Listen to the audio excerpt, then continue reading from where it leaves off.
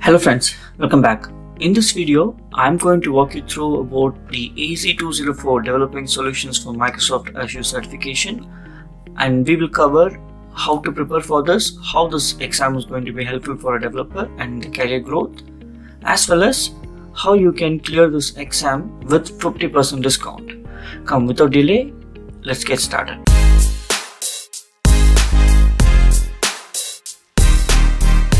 So in my GitHub repository, I have created a repository named exactly for AZ204 developing solution for Microsoft Azure. So basically this is as of January 22, 2024, which means they have updated all of the details here. So I have listed down here like everything of this certification and I have also mentioned that every single topic of this exam will have a video and its repository for the preparation of the exam and posted in my two channels. Whichever channels you prefer, you can go ahead and check, but everything will be covered. Now, this is basically a developer certification. So there are a lot of Azure certification, starting from fundamentals of Azure and then followed by for developers, for architects, for data engineers, and so many certifications. Okay, if you're not clear on what certification you have to take, um, this is one of the good certification that you can take for a developer perspective. So this one has a lot of Azure concepts covered and that's why this is called developing solution for Microsoft Azure and primarily meant for Azure.NET developers, not only .NET developers but you know the java or any other developers can also use this but the primary focus of most of the concepts will be uh, easy for uh, the existing .NET developers. Let me go through this, right? So there are exam skills at a glance. So there are five, six parts of exam.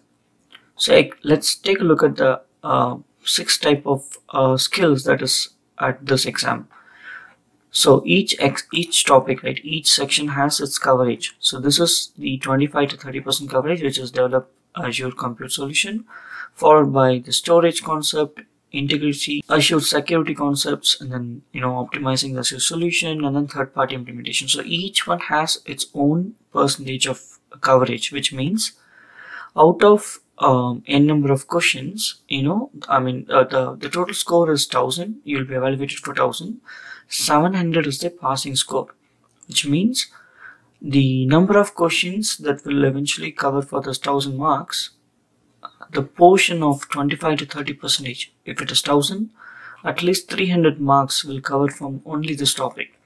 Similarly all of these things. So altogether it's a combination uh, you will be covered with those many questions okay? And then uh, instead of going through one by one very boringly but if I if I just tell you at high level so if you look at the compute solution they will have the containerization uh, examples web servers examples functions. And then storage cosmos db and the blob storage.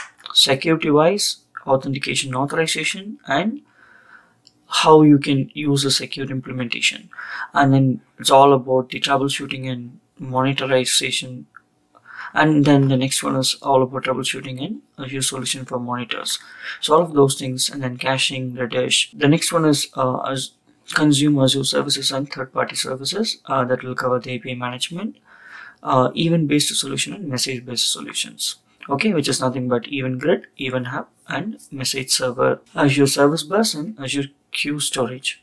So all of these things right? So now let me tell you this right? If you go google and search you will probably end up here for the exam. So this exam also tells about the same thing.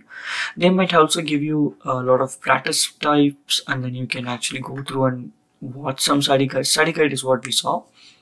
Some preparation videos and sandbox all of those things right?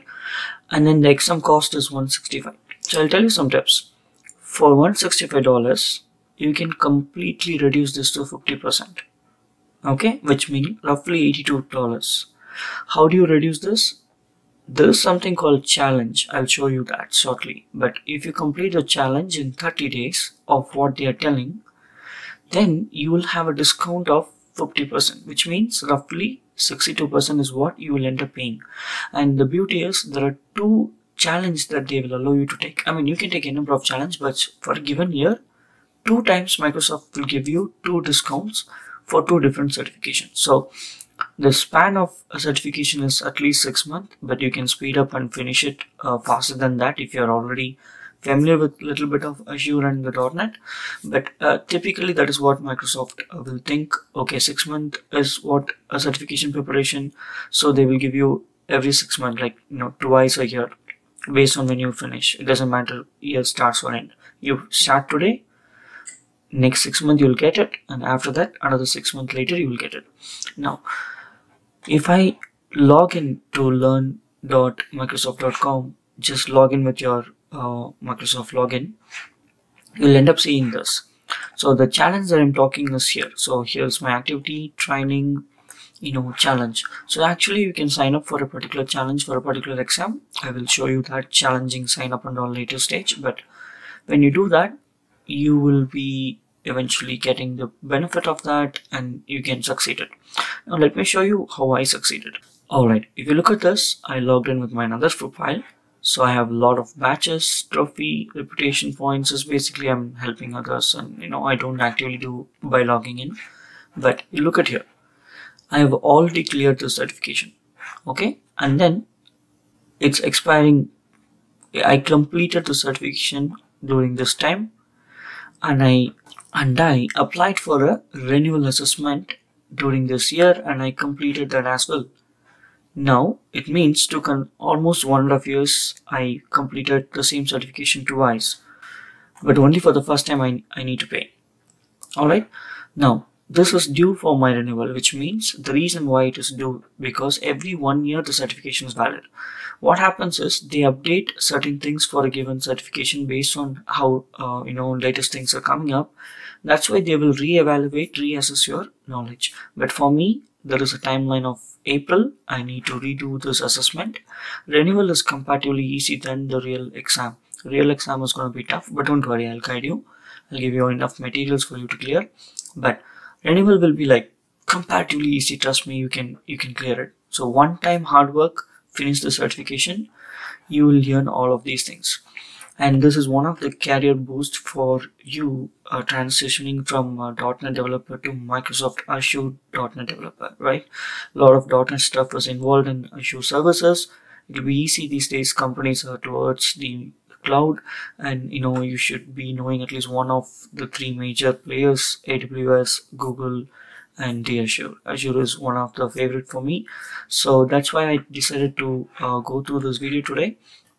Now, as I said, every single topic here will be covered in depth, whichever is required for you exam to cover.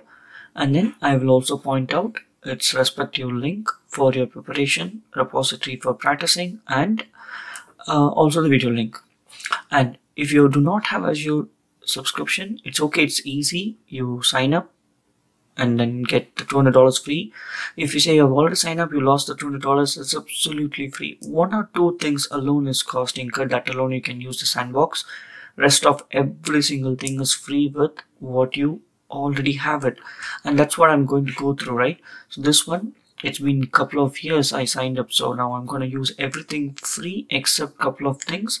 That couple of things you can still use the sandbox to create it. I will show you that as well as we progress. And uh, this video will be very helpful for you to clear the certification. So without delay i think you know about all of these things now. If you have any questions let me know in the comment section.